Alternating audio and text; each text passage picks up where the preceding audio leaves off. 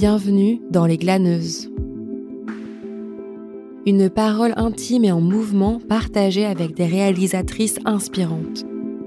Des femmes engagées qui interrogent nos images pour pénétrer dans le personnel et le politique. Le cinéma de femmes, c'est pas aussi simple que ça. Les femmes réalisatrices et les films de femmes, ça délie la parole. Nous étions à 23% de femmes. Quoi qu'on fasse, ça a quand même une portée politique. Ça, ça, c'est du cinéma. C'est vraiment une détestation du corps des femmes euh, qui est organisée. Je trouve ça... On est la deuxième moitié de l'humanité. Notre regard manque dans le monde. Lorsque l'on pense aux sorties d'usines, les vues des frères Lumière envahissent notre imaginaire, ne laissant guère la place à d'autres représentations. Durant un festival de films documentaires, j'ai découvert une autre sortie d'usine, celle racontée par Messaline Raverdi. Dans Derrière les volets, son premier film documentaire, Messaline retrace son histoire et interroge son nom depuis l'usine vide de sa famille. Un film qu'elle construit comme un musée imaginaire composé de lettres et de photographies. Une conversation politique et intime à partir d'archives. Je me souviens avoir été transportée dans ses souvenirs qui transgressent continuellement les frontières, par son goût prononcé pour les mots et ses rêveries sur l'oubli. Je me souviens de sa générosité à partager son livre d'images, car derrière le récit intime se profile la volonté de faire voir l'invisible, des portraits croisés de femmes, d'une grand-mère, d'ouvrières, de carmélites qui ont façonné et habité cette usine et dont leur histoire fut ombragée par le patriarcat. Avec Messaline, nous avons parlé de grand-mère, de souvenirs d'ouvrière et de maternité. Je suis née à Seclin, dans le nord de la France. Donc, enfin, le milieu social, c'est vraiment euh, d'un côté le milieu ouvrier, du côté de ma mère, et du côté de mon père, le milieu bourgeois euh, qu'on voit dans le film. Et donc voilà, deux milieux très opposés. Euh, ma grand-mère paternelle ne supportait pas ma grand-mère maternelle et l'a trouvée vulgaire.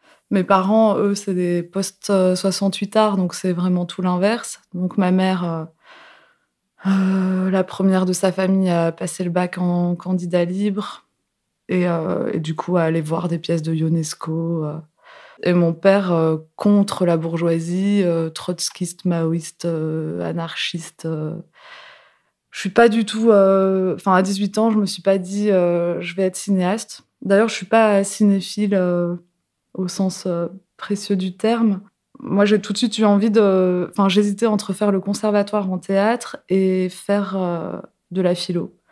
Finalement, j'ai fait de la philo parce que j'avais l'impression que c'est ce qui me permettait de justement de, choisir aucune discipline. Ensuite, j'ai fait des études de littérature. Et puis, au moment de faire le, le master en, ça s'appelait Lettres, Arts et Pensée contemporaine, je suis tombée amoureuse d'un garçon qui était à la Cambre euh, en architecture d'intérieur, à l'abbaye.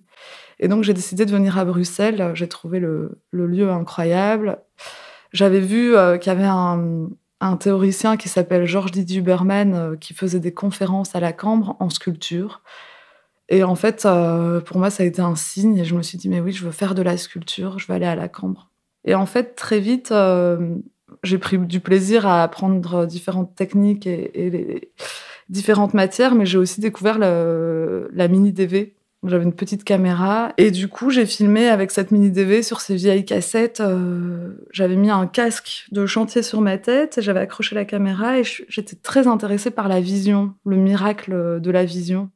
Et puis j'ai décidé d'aller plus vers le cinéma à ce moment-là. J'ai commencé à monter, voilà aussi. Et ça a été un monde euh, merveilleux.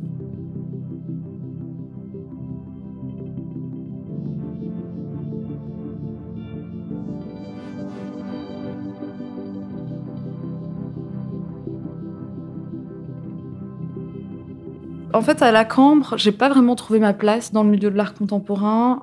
Enfin, pour moi, c'était extrêmement anxiogène, euh, le, système de l'école. Le système, c'était vraiment quand on, passe un jury, on passe à la casserole narcissiquement, on va se faire démonter, il faudra se relever et aller plus loin. C'était euh, le principe euh, pédagogique mis à l'œuvre pour, pour pouvoir créer, mais en fait, pour moi, ça allait complètement à l'encontre de mon fonctionnement.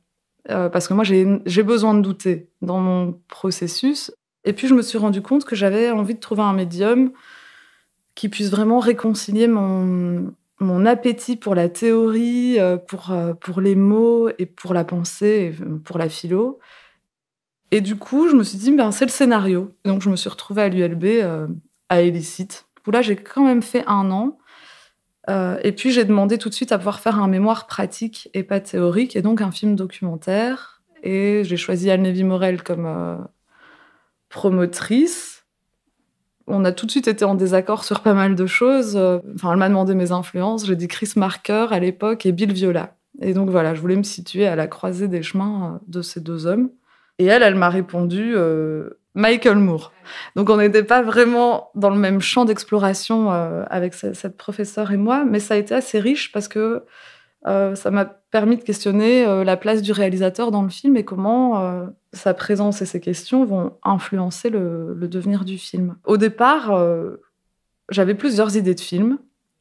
Et c'est avec elle vraiment qu'on a dit ah, bah, c'est l'usine du grand-père qui paraît le, sujet le plus intéressant à creuser dans le cadre universitaire d'un master. Et puis en fait, très vite, moi j'ai eu envie de filmer vraiment et donc l'année d'après, j'ai décidé de pas me réinscrire euh, dans cette filière et de, de vivre chez ma grand-mère. Euh, donc j'ai vécu chez elle pendant trois mois.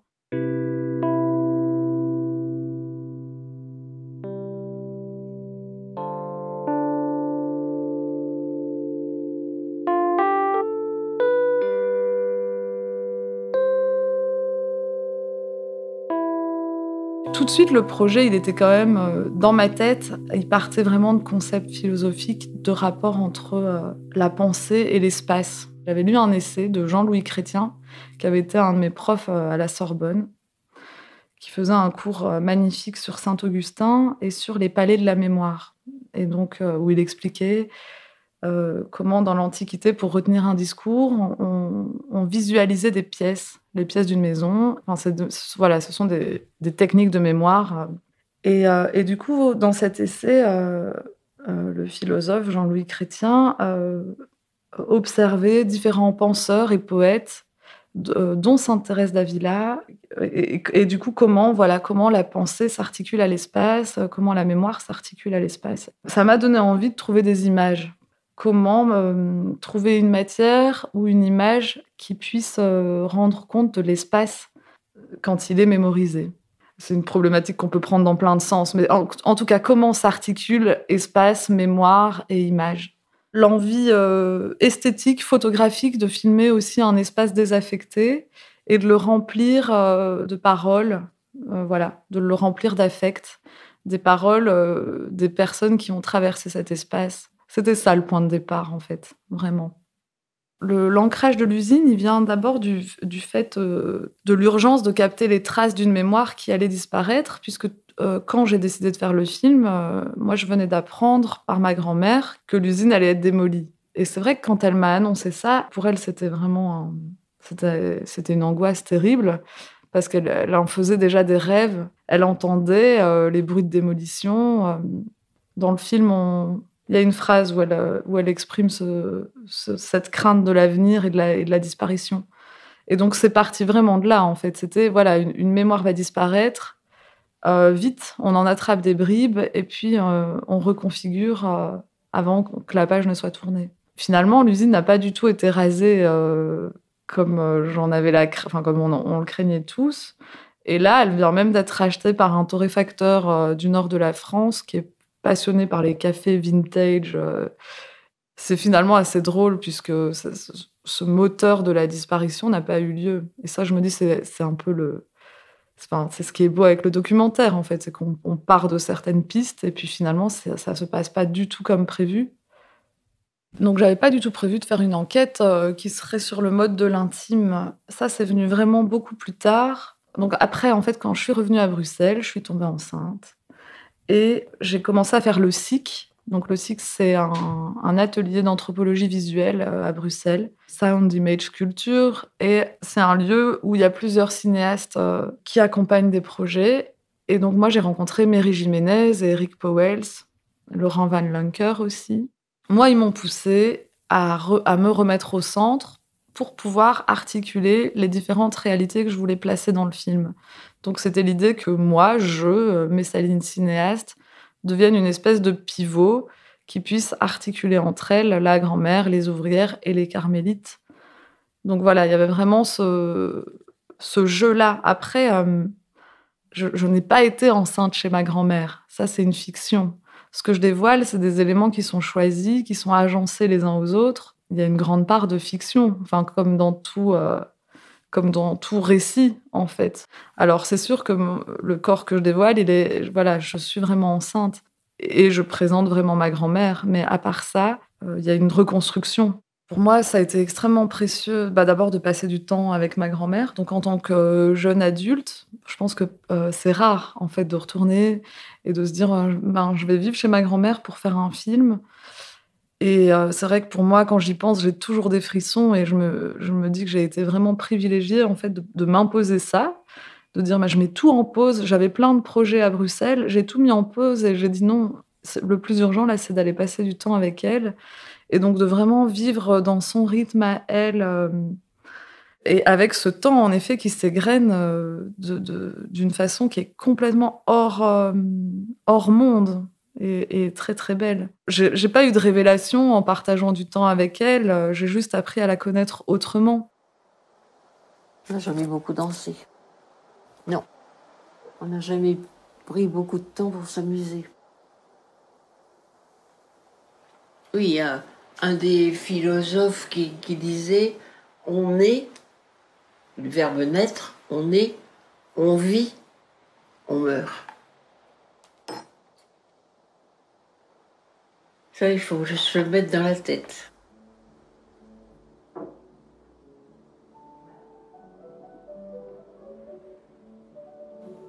C'est compliqué, hein Bah, non, c'est logique. C'est logique, c'est pas, pas compliqué. Par rapport aux ouvrières, ce qui a été vraiment très riche pour moi euh, de rencontrer avec elles, c'était euh, la servitude volontaire. Voilà. Tout d'un coup, euh, voilà, moi, je n'imaginais pas du tout ça quand je les ai rencontrées, parce que moi, mon grand-père, ça représentait l'homme à abattre. c'est comme ça qu'on me l'a présenté. C'était l'homme colérique, dictateur, tyrannique. C'était l'homme qui rentrait, qui claquait son gros trousseau de clés sur la table et puis qui gueulait sur tout ce qui allait pas dans la maison. Et pour elle, c'était tout l'inverse. Alors c'était ah oui, bon, il avait il avait un caractère bien trempé. Oui, ah, il avait pas sa langue dans sa poche, hein, mais ah, c'était un vrai patron. C'était un vrai patron. Euh, tout le film, c'est un peu une tentative à la fois de comprendre le, le besoin d'être contenu et en effet toujours le, et toujours en même temps le besoin d'exploser ses limites. Ça a été vraiment une, enquête pour les réunir. Et moi, là, du coup, je me suis dit, il faut faire un vrai tournage. C'est quand même un moment énorme. Donc, j'avais rencontré un caméraman pour la télé. Moi, j'y connaissais rien en cinéma. Hein. Je faisais tout en bricolage euh, avec ma petite mini DV. Donc euh, là, tout d'un coup, bon, quand même, on va peut-être essayer de filmer vraiment.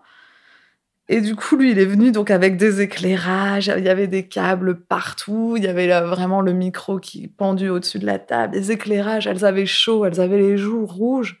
Je me suis retrouvée euh, avec des images inutilisables pour le film parce que euh, parce que c'était du reportage et qu'en même temps c'était enfin ça leur rendait pas grâce et c'était pas enfin pour moi c'était pas beau, voilà, tout simplement. Et par contre au niveau du son, il y avait une explosion, une explosion de joie.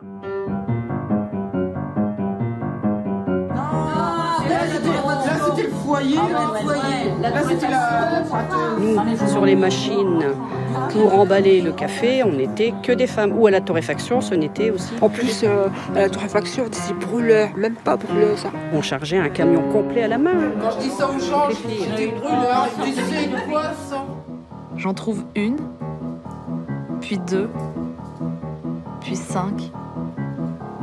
Et quand on nous dit euh, tu travaillais où avant chez Raverdi Ah ouais, les cafés, café. Ah, qu'on a fait le Ah, ça grattait partout, ah, ça grattait. Après, on était incrusté de moulu. Tout de suite, je montais, je prenais ma douche, euh, je me déshabillais, on, on sentait le café. J'allais faire mes petits secrets qu'on avait quand même. Hein. Oh, on avait des petits secrets. Monsieur Raverdi avec sa chemise, puis ses bretelles, quand il montait sur la, quand il montait sur la machine, puis de mon derrière. Parce qu'il nous faisait monter dans les cheminées, hein Mais moi, je l'ai fait, j'étais- enceinte. Hein. Bah oui. Mais on disait jamais. Le pire, c'est que les sacs, ils étaient cachés derrière sur le torréfacteur. Ah, j'étais comme ça. C'est la porte où M. Raverdi est rentré. Et vous aviez pas peur de lui Si. Si, si. Oh, bah, quand on le voyait. Surtout quand on avait fait de travers. C'est les murs, hein. Quand il a élevé la voix, Et même quand il est arrivé. quand on entendait claquer la Voilà, porte. monsieur, voilà, monsieur, tout, tout, tout le monde. Oh oui, monsieur, attention.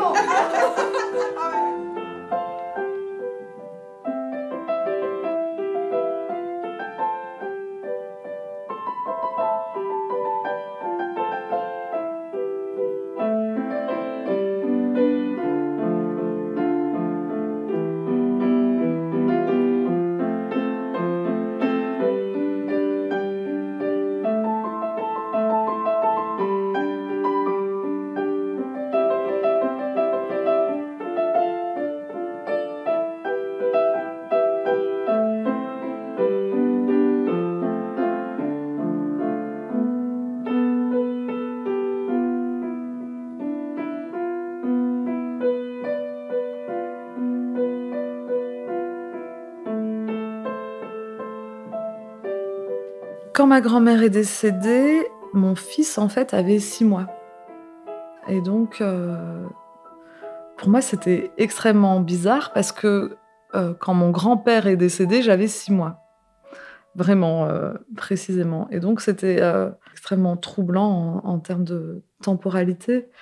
Évidemment, ça a été pour moi un deuil difficile.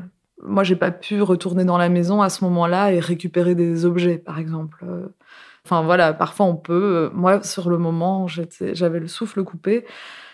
Et de toute façon, je me sentais euh, pleine et riche de toutes les images euh, et les sons que j'avais que j'avais accumulés avec elle.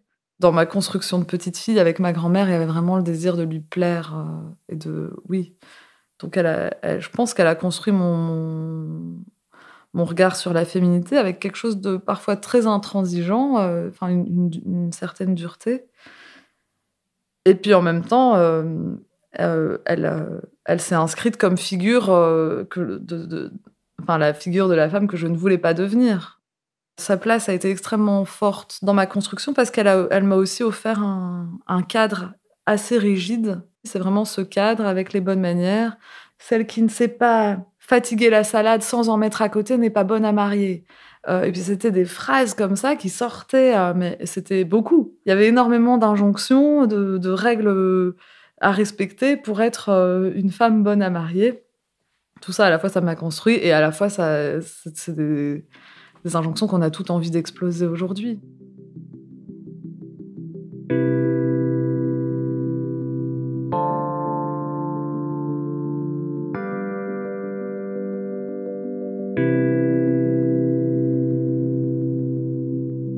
Départ, c'était vraiment un film sur une usine, donc avec des questions assez abstraites et théoriques.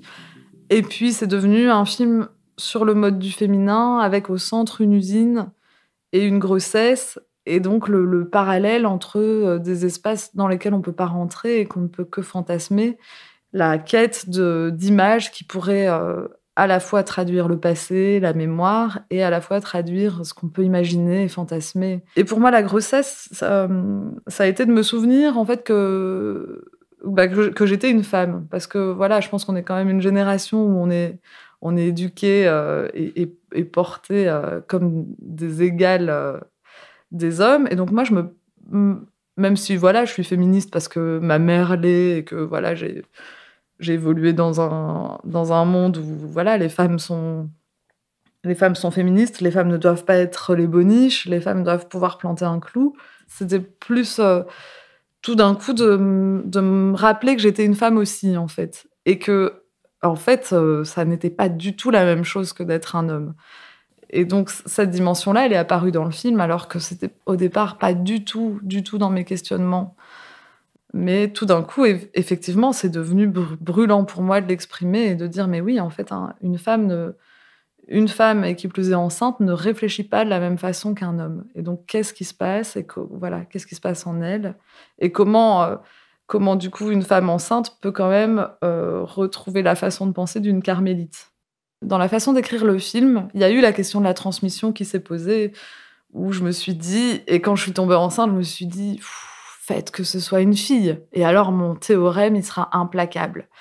Et puis donc euh, un garçon. Donc euh, le film, il aura certainement une influence dans la construction de mon fils. Enfin, je pense qu'au départ, d'ailleurs, j'ai peut-être un peu forcé. Euh, moi, au début, quand il était plus petit, j'ai beaucoup porté son attrait pour la couleur rose. Enfin voilà, en essayant justement qu'il soit la preuve vivante de la démolition des clichés. Et puis là, il est plus grand et je suis, je suis confrontée quotidiennement au travail que, fait la société et euh, que fait l'école euh, pour euh, toujours refiger les identités dans des genres bien définis, bien séparés.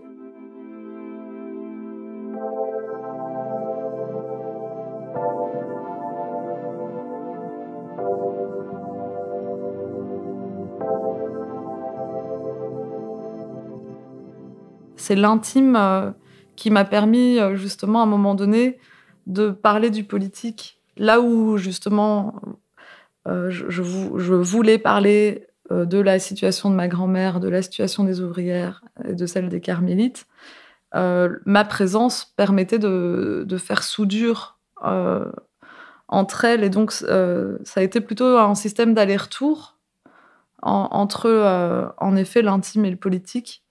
Je regrette presque de pas de pas avoir euh, donné plus de place aux ouvrières dans le film. Il y a parfois un regret et, en même temps, je me méfie beaucoup des films à discours. Et ce que j'ai essayé de faire dans le film, c'est justement qu'il ne soit pas porteur d'un discours unilatéral et clairement identifiable. Euh, donc voilà, qui serait euh, les femmes doivent être les, les, égales des hommes.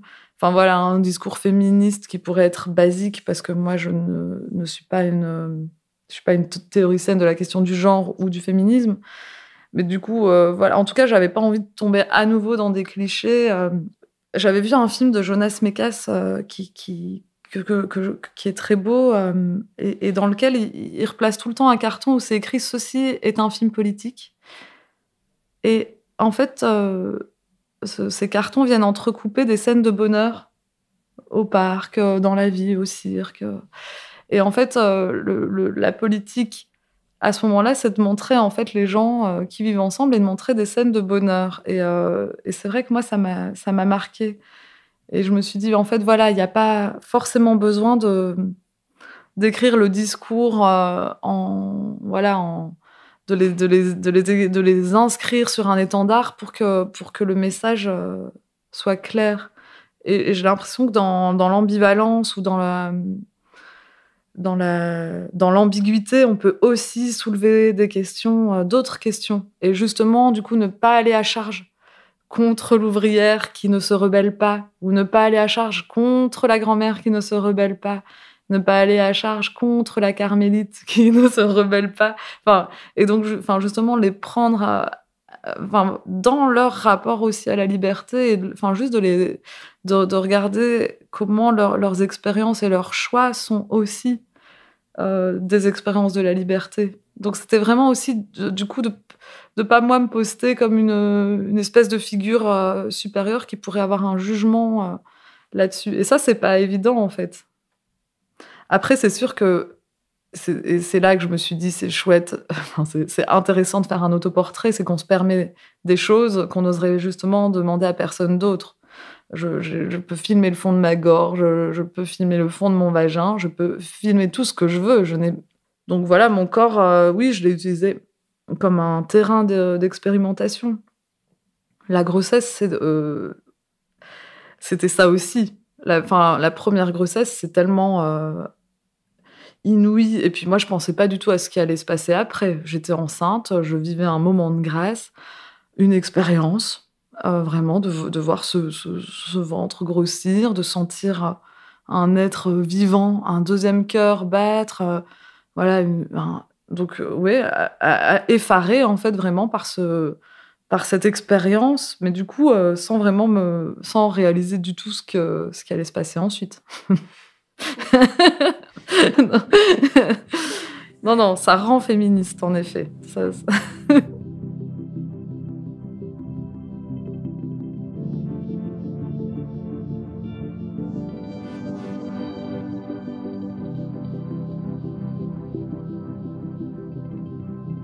Très vite dans le montage, il est apparu que je ne pouvais pas, euh, je, pouvais pas euh, créer une forme à partir d'images télévisuelles ou de type reportage.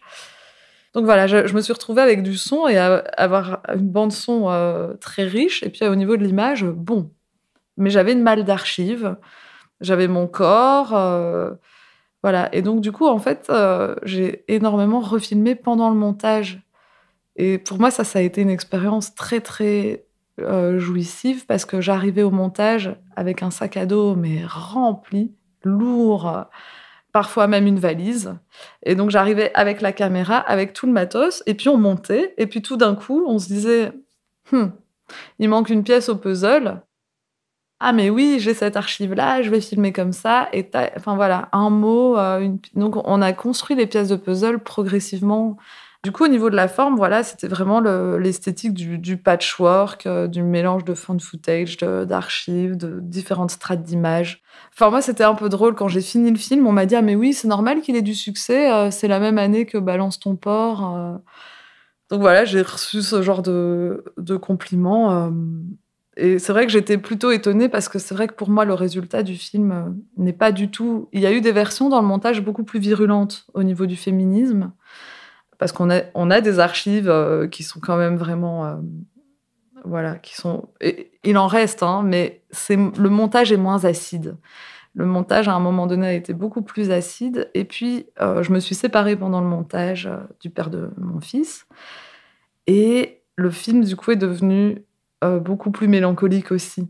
Parce que, ben voilà, il y avait, il y avait autre chose, une autre profondeur, enfin, une autre expérience de la vie. Et, et du coup, le film, en effet, euh, est devenu beaucoup moins féministe. Et pourtant, moi, je m'étais sortie d'un moule dans lequel je m'étais retrouvée malgré moi, de devenir en fait femme au foyer, de pas pouvoir travailler sur mon film.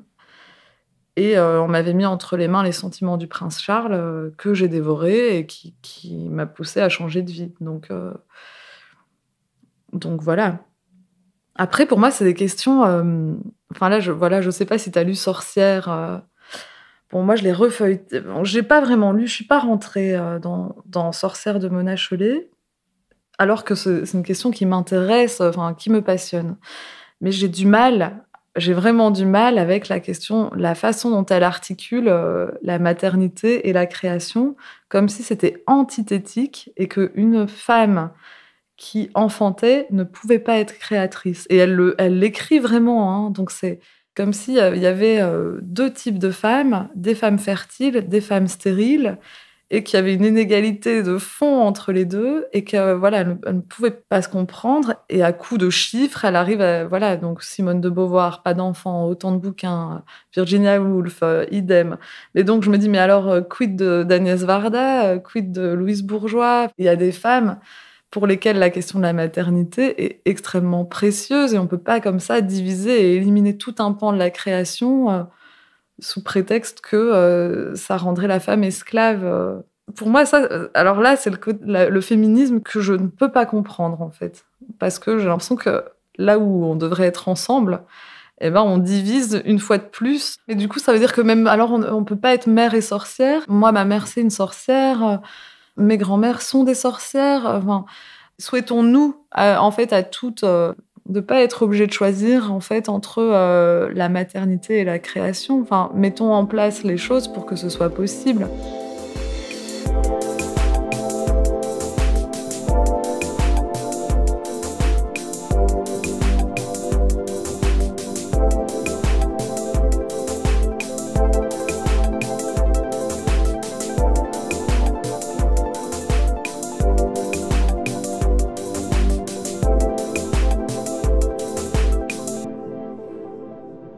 Je suis Sarah Semana et vous venez d'écouter Les Glaneuses, le podcast qui s'immisce au creux de la vie de réalisatrice.